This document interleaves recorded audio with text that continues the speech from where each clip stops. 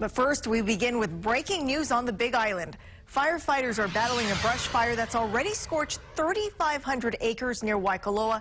The fire only started around 1 o'clock this afternoon. And it forced officials to shut down part of Highway 190. It's back open now, but part of Waikoloa Road does remain closed until further notice.